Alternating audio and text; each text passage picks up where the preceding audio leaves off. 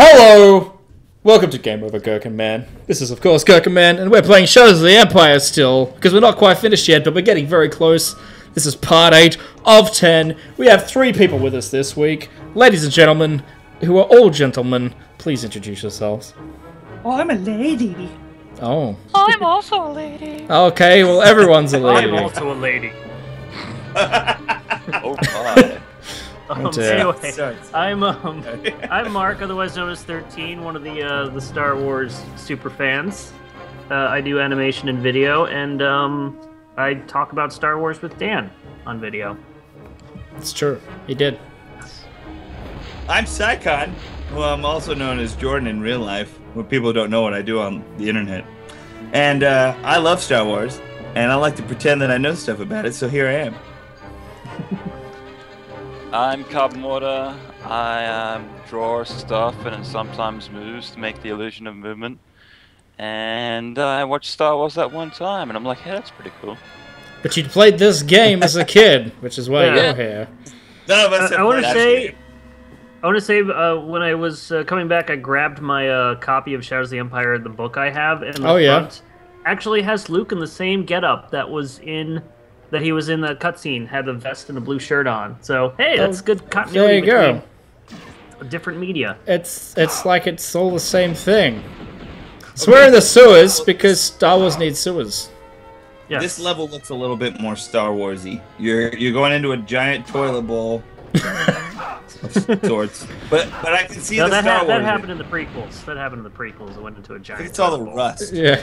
This kind of reminds me of the uh, the scene where they're in the trash compactor. I guess. Well, that's not the only thing that's going to remind you of the scene with the trash compactor in this level. I can tell you right now. I wouldn't doubt Oh, it. is it? Uh, Mark knows what I'm talking about. Dylan probably is- does is too, it, actually. Uh, is the Dianoga in here? Yeah, there's a whole bunch of them, and there was like the, the Queen Dianoga, Oh, that's right. and she's Now- a fucking Dianoga. mole. Do does anybody know? uh, Are these the sewers that we're in right now? Are these sewers located on Coruscant? Does anybody know? This is. Um, it said it was in the Imperial City, so I assume that's Coruscant. Which would be Coruscant, yeah, because the Yeah. Imperials they, they took Yeah. over the, ci- the capital of Coruscant. So, Yeah, so for yeah. all you Star Wars fans out there, we were swimming through the shit of the Coruscant Imperial assholes that took over our city. Don't worry, guys, we're gonna get it back. Do you, do you think that uh, Mace Windu's body washed into the sewers, and we're, we we would find him? That'd be an amazing Easter egg based You on his wouldn't be able body to tell, skeleton 'cause he's a big somewhere. oh dear, dear oh me! You wouldn't think. Um, Oh. there's a lot of brickwork underneath this city. It's it's space bricks. Space bricks. That thing's just filtering the poop. Yeah, it's kind of It's a uh, wall. it's a very kind of interesting level. This actually, because you use the jetpack to swim basically, which is an interesting idea. It's weird because we were because we were physics, screw that. well, I don't know if you remember us playing a certain game called Duke Nukem like, Forever, which had had first person swimming. But uh, it's kind of funny that this game from the this launch game for the Nintendo 64 does first person swimming better than Duke Nukem Forever did, like 15 years later. There Oh, we go. There he is. Boring. He's he's just swimming.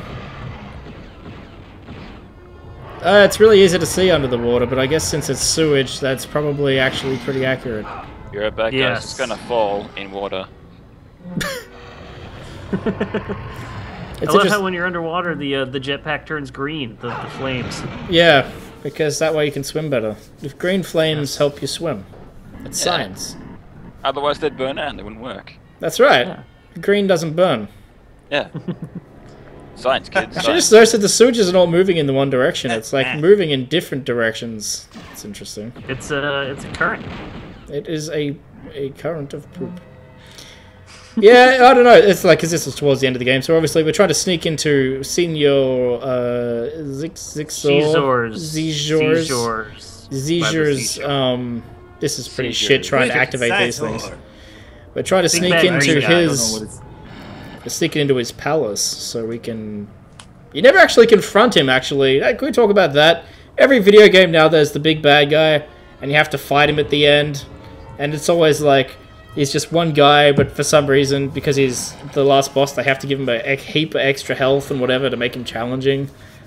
You don't even fight the bad guy in this game. You never It's a- even it's a see him. quality. Zizor, That's- how do you say it?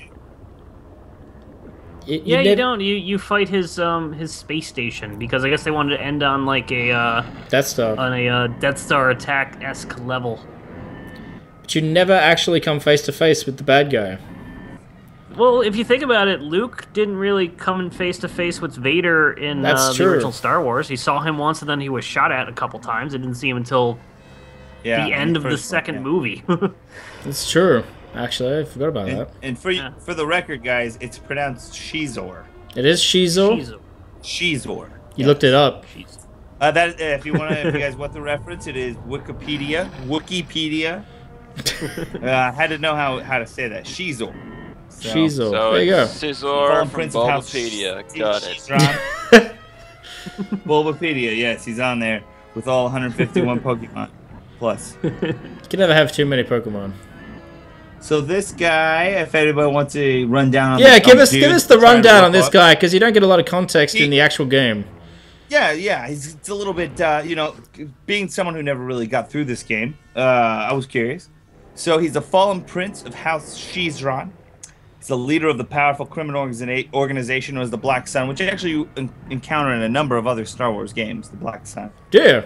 Uh, Yeah. This is during the Galactic Civil War. She's always a ruthless competitor and a charismatic public figure in the high society, and his headquarters in the city planet of Coruscant uh, is where the Imperial Palace well, obviously was. Hmm. Um, but his his palace was, um, I think, a little less. And then he's uh, his race being um, a species of the Falleen, excuse me, Falleen, which I don't know much about, but um, Yeah, I'm not familiar with the Fallen.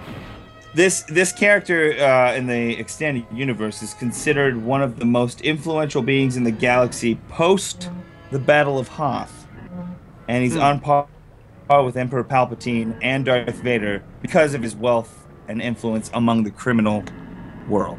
Oh, so, so, there there's you your go. background for the for the. For He the becomes series he becomes more powerful than uh, was it Grand Admiral Thrawn?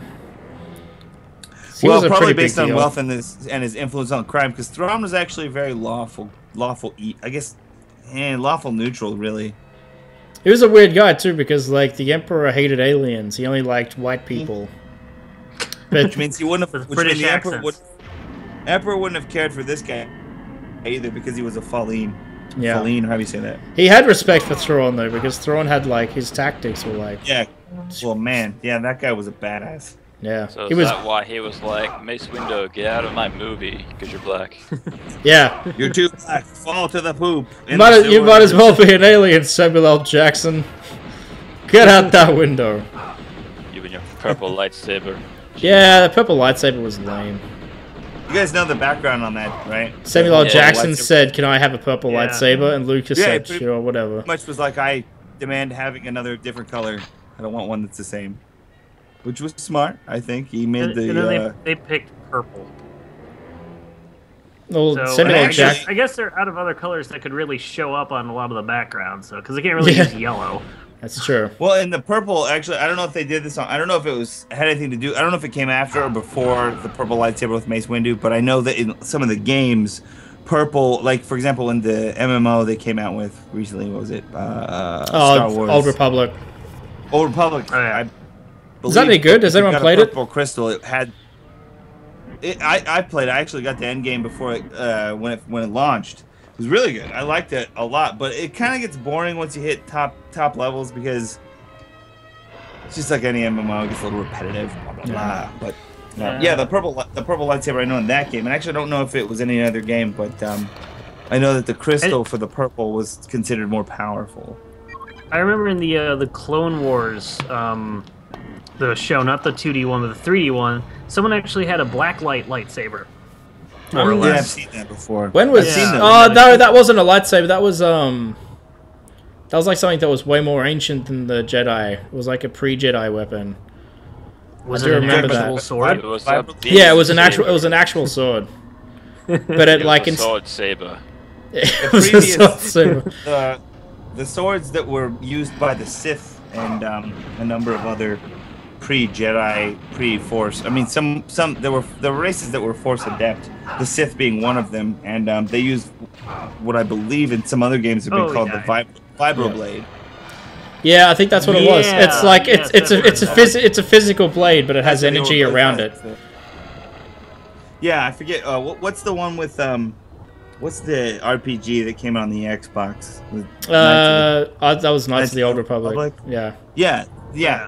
The, the- they call them vibroblades in that and those two games, but I can't I can't remember if they were called something else during. Um, for example, I know that Sith used them because they were actually the the way that the Sith became uh, Jedi infused was there was these two Jedi that were expelled. Blah blah blah. They ended up on this planet. They taught all these Force adept race. They taught this Force adept race the Force like technique and stuff. And long story short, that's where Palpatine comes from. Yeah. Aristocrat. It's all the it's all the Jedi's fault. Everything's always a Jedi's fault. There's also really uh, is. it gets so complicated too, yeah. and then you've got the Valley of the Jedi where you can just like go and become a Jedi. You just get infused with the Force there. Yeah. It's like everybody and I their mother wants to be a Jedi. I'm a Jedi. You don't get lightsabers, you get light powers. That was from uh, that was from the Dark uh, Jedi Knight and Jedi Outcast games. It's a force field deactivator. So since we're It's in, a since we're force to be reckoned with. Are we swimming around in poop right now? Yeah, we're swimming around in poop. It's space poop. We're, sl- we're swimming around in Xizor's poop. No, Prince it's all Xizor's shit. poop. If you're gonna sneak into a palace, you're gonna get covered in shit. This is the poop trap where all the Hutts take their dumps. This level's really confusing. You know, actually, Yeah, that's not far from the truth. The Hutts may have shit in this because Xizor dealt a lot with Jabba the Hutt, apparently. Yeah. Well, this it says on Coruscant, and that's where uh, Ziro the gay Hutt lived. So- I'm kind of curious to to know if um, Xizor's dealings with these criminals, because you know he's kind of like this influential, almost political leader in Coruscant. I wonder if it uh, affected. I wonder if it was all underground or if it was like just out in the open, like, hey, I'm a fucking mafia dude, whatever. Yeah, I don't know. It could, yeah, it, it seems like he'd be akin to like the mafia boss. Like everybody knows that he's the bad guy, but nobody Yeah. can prove it. So they have to get him on Yeah. racketeering, tax Well, evasion. because he, 'cause he, he did a lot of dealings with the Hutts, Hutts and stuff. So I Well, everyone did dealings Yeah. with the Hutts. I mean, like Jedi dealt with Pretty the much, yeah. Hutts, and the Empire dealt with the Hutts. Once you dealt with every Hutt, you've been with every Hutt that Hutt is dealt with. That's why the Hutts interesting. You know, they were so neutral. the They were just like everyone. Everyone had to come to them, no matter how powerful they were. The- See, it's really it's interesting thinking about this because it's like Star Wars, I guess, has always had that very political aspect to it in a lot of its uh, other writings, Oh, and yeah. then you know when they actually have politics in the movies, it's boring as hell. Yeah, that's because they actually show the politics. It was interesting in the Yeah. old movies because it was like mentioned uh, on like an off offside. It was like, a, and then this happened, or this has just Yeah. happened, and now we're dealing with the ramifications of that. Whereas the prequels are like, let's watch. There's a show we have in Australia called um, uh, it's like Speaker Time. It's like Speaker Time, or whatever, and it's basically just watching politicians argue. and um, that's like literally all it is, and that's what the prequels are. That's just listening to politicians argue. If I wanted to watch boring political debates, I'd watch Star Trek. or get on. See, yeah. Hey, this is this is the exact same thing that was in the uh, the Theed Palace uh, room in uh, during the Duel of the Fates in Episode One. You just went through the, the force field thing. Yeah, so they got that idea from the game that came out years before. precursor. You know, I'm one of the few people like the Duel of Fates as a song does nothing for me. Everyone goes, that song's like the one good thing to come out of the prequel, out of well, you know, episode John one. Williams, his stuff's been in Star Wars since day one, right? So, actually, with this game, I was reading a thing about this a bit ago. That they approached John Williams to score this game. And Yeah. actually, I think I don't know if it was the title track or there's a couple other tracks in there. They used some stuff from the original. uh, yeah, but there's some fresh compositions. Yeah, yeah, that didn't. But but he actually, John Williams didn't actually do anything for this specifically. He just Yeah. uh, recommended. Uh, I think it was John Neely or Joe Neely or Yeah, something he like did it, and he did a great job Sort rep- um, replicating John Williams' sound. yeah. There's some tracks Right, on here yeah. that I think are just as good as anything Williams um ever composed. Definitely. Hey now. You're a rock star. John Williams, the rock star. There is there is a country oh, music star called John Williams. Oh, this is it. This is the bane oh, of my existence. giant queen Oh, Dianoga. it's a Zelda Oh, boss. giant clitoris, kill it. I died so many times here fighting this thing. Boba Fett, no. I already beat Boba Fett. oh, you've already died. Yeah, it didn't take long. I had full God. health for a second. You gotta shoot its fucking Quick. eye stalk. You gotta kill the ganglia. Shoot. Dianoga eye. Ganglia. In- interesting Shoot fact for harpies the and then you can Dianoga. What can tell us about the fact, so Dianoga? Dianoga is the, the big tentacle monster in the trash compactor. Yeah. Dianoga was the original name for the Jedi in one of the earlier drafts of Star Wars. Really? That's amazing. Yes. That's a great fact. That is great interesting. fact. That's what this show is all about. That's talking. Star Wars facts, yes. Got any other interesting Star Wars facts like that? About the Dianoga? Um, not probably do, but they don't pertain to this. Like, um, What about did you just know that random one ones? of the asteroids in the asteroid field? It's a Empire potato. Back was a potato. I thought one I thought there was a like I thought there was a couple of potatoes in there. Uh, there was at least one. I think they were saying like because they they only modeled the asteroids for the close-up ones and the ones in the distance were all potatoes. Not all of them, no. They had a lot of little tiny ones in the in the background. Yeah, potatoes look like Um, asteroids. You throw a potato, someone's gonna think an asteroid's about to hit them. Oh, mashed potatoes.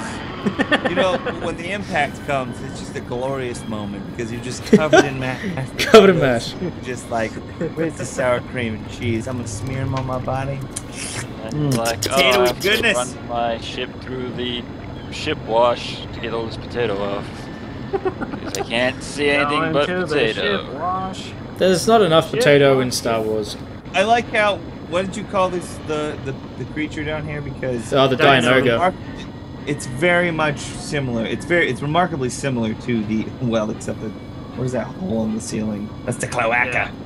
Um, no, it's very similar to the Sarlacc pit. Yeah, it's like a water Yeah. sarlacc. In It the looks like racing the episode that same- you did. Yeah. Yeah. It looks like it was the same texture pack for the teeth. Yeah, pretty much. You gotta recycle textures where you can when you're working with cartridges. Recycle. Cartridges are expensive and don't have a lot of storage, so you gotta You know, recycle what you killed can. that thing. You died like a hundred times. You died a hundred times, and you were inexplicably you inexplicably just won. I don't. I, I missed how that happened. Did you shoot It had the? um. I had a lot got of like lives. 14 lives. Yeah. Alright, well, uh, Star Wars. The magic of Star Wars. Thank you, Mark. Thank you, Psycho. Thank you, Dylan. Uh, come Thank back you. next time. We're going to storm the castle. That's it, really. We're just going to storm the castle. Castle. Storms Just- are brewing. There's a storms of brewing. in